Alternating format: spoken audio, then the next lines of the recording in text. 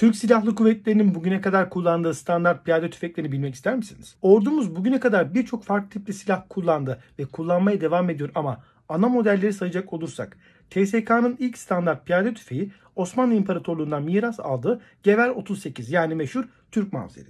7.92'lik bu efsanevi tüfeği Türk ordusu uzun yıllar boyunca kullandı. Fakat 1950'li yılların başında NATO'ya girdikten sonra Türk ordusunun standart piyade tüfeği Amerikan yapımı M1 Garand oldu. Uzun yıllar M1 Garand kullanan Türk Silahlı Kuvvetleri bu silahları 1970'li yılların başında yavaş yavaş Alman yapım G3'lerle değiştirmeye başladı. 2000'li yılların başında HK-33 adı verilen bir modele geçilmesi planlandı. Fakat daha sonra HK-33'ün isterleri karşılamayacağı fark edildi ve yerli imkanlarla yeni bir tüfeğin geliştirme süreci başlandı. Ve bu sürecin sonunda Mehmetçik 1 yani MPT-76 ve MPT-55 ortaya çıktı. Şu anda Türk Silahlı Kuvvetleri büyük bir hızla G3'ü bırakıp MPT-76 ve 55 modellerine geçiyor.